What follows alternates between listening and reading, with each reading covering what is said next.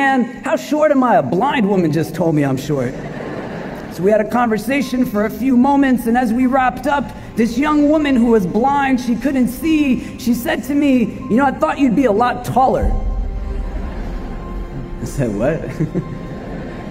and she said, Your voice, it's not coming from up here, but it's coming from down here. And I said, Oh. And one of my students who was with me, he said, Isn't that remarkable? She's blind and she could tell how short you are. She didn't need eyes to see. Do you understand? And sometimes we take the most simplistic level of understanding because all we're seeing is what it is that we see, but we're not getting to the depth of certain realities. How you see people is not indicative of who they are.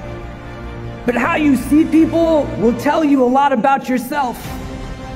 And if you perceive somebody solely through the way that they dress, the color of their skin, whether they have a certain accent or not, the fundamental question you have to ask yourself is why do you see it that way? Your organs of sensory perception, they are not limited to the eyes that you see with, the ears that you hear with, the tongues that you taste with, the hands that you touch with, even the minds that you think with. But you have a primary organ of cognition that will synthesize all of this information as it goes into you in various ways. If you don't know why it's processing in the way that it is, it's just going to regurgitate the same challenges that we see day in and day out. Do you get what I'm saying? Our deepest strengths are not when we are apart, but only when we come together in ways that we uniquely can.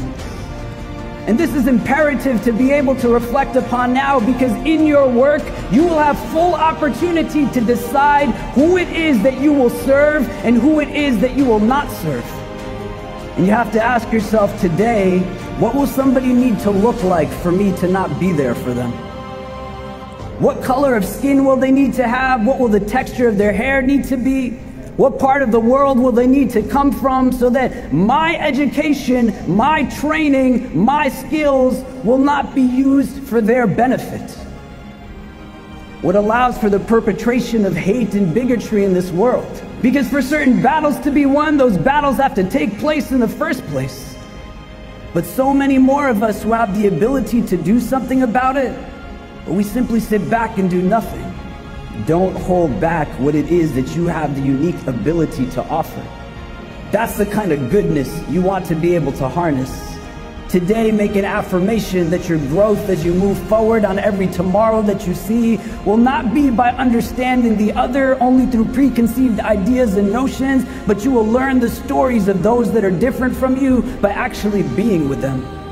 To take time to understand that what it is that we are fed is not often what is reality.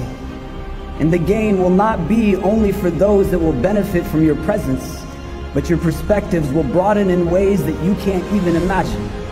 May you be protected always from hearts that are not humble, tongues that are not wise, and eyes that have forgotten how to cry.